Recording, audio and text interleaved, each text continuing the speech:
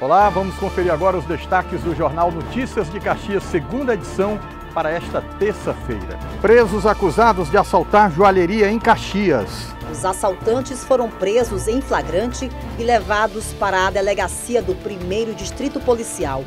Polícia Militar promove treinamento de tiros para alunos do curso de soldado. E esse é um dos treinamentos básicos para as possíveis situações futuras. Criadores têm prazo até dia 15 para vacinar o gado contra a febre aftosa. Que compareçam dentro do prazo até para que a gente possa estar contabilizando esses números nos nossos relatórios. Idosos do Lar da Divina Providência fazem campanha de Natal na internet para arrecadar donativos. Quem quiser pode vir trazer um presente, um donativo ou simplesmente vir conversar com os idosos. Atenção é o que eles mais gostam. Você sabe, o NC2 começa às 7h20 da noite.